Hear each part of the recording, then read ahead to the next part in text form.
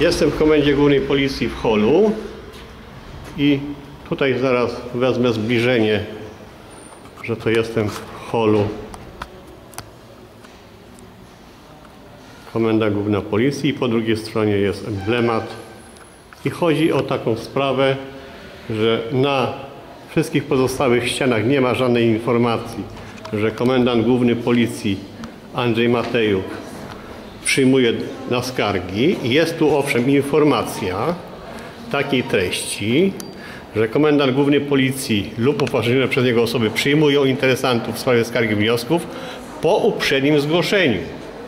I to pisze wyraźnie. I to już jest naruszenie prawa, albowiem artykuł 253 kodeksu postępowania administracyjnego nic o czymś takim nie wspomina.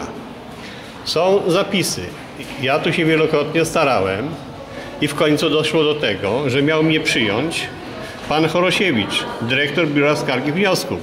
Tylko, że nie przyjął, natomiast odpowiedź niezgodną z prawem dał pan Czerechowski.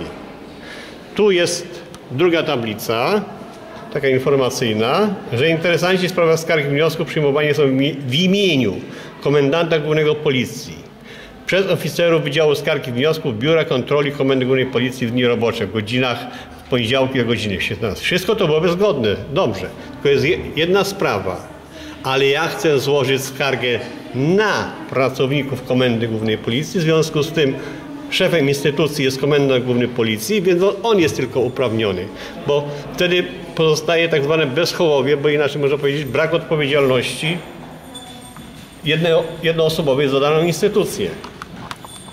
I artykuł 253 jest pod rygorem artykułu 268 kodeksu karnego, a w związku z tym, że komendant główny mi policji nie przyjął, to zostałem trzykrotnie bezprawnie zatrzymany, trzykrotnie bezprawnie odebrano mi baner protestacyjny.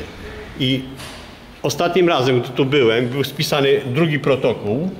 Tu mam na, na, na, na tym, na blacie. I to, to było 9 sierpnia.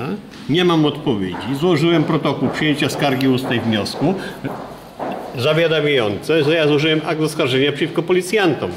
Nie ma żadnej odpowiedzi. No i tutaj już więcej chyba nie potrzeba mówić.